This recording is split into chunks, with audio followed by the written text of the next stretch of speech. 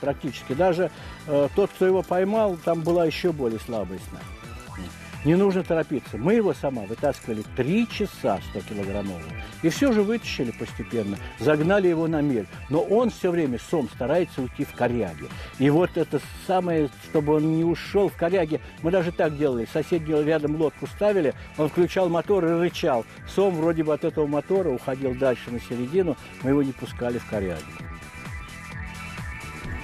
В руках у Марата появляется багорик, значит развязка уже близка. Вскоре обессиленный сом показывается на поверхности. Но в последнюю секунду рыболовы отступают от намеченного плана. Чтобы не травмировать рыбу, решено брать ее рукой за нижнюю челюсть.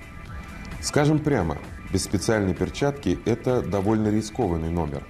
Особенно если на леске ходит такой вот здоровяк килограммов под 30.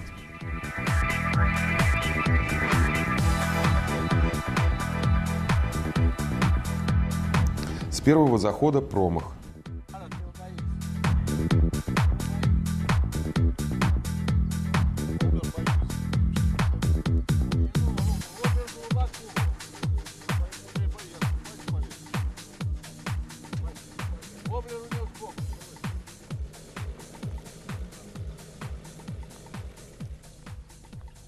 Но со второго усатый великан аккуратно взят под нижнюю челюсть.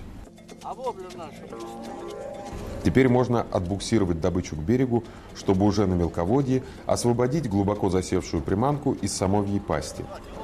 Да и вряд ли этот хозяин реки мог предположить, что его вот так прокатят на моторке по собственным владениям. На берегу само проведение